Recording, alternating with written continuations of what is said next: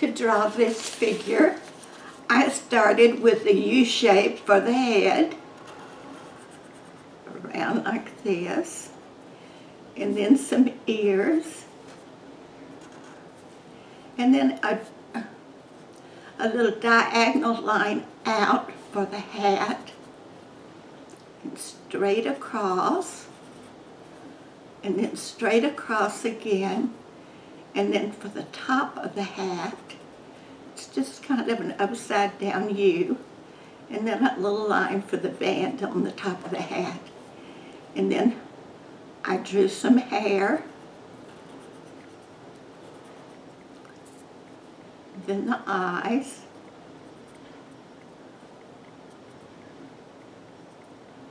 and then a little curve for the nose, and then a curve for the mouth. Then for the arms, I started the head and went straight down, curved around. And I did the same thing on the other side. Then for the body, I drew a straight line down. I did that on the other side.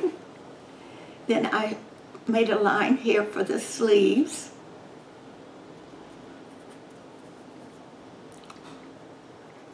And a line there to show where the arms are. Then I made some stripes in the sleeves. Then I made some stripes in the shirt.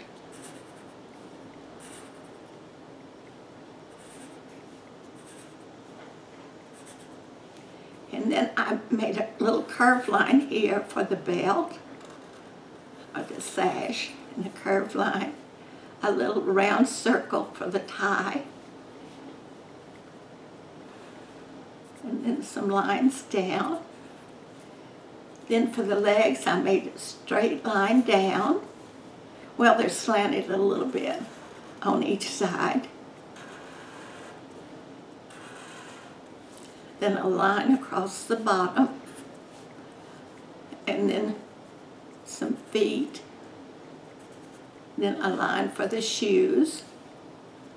Then down and around. And a line then again for the shoes. Thanks for watching. Remember to always be kind.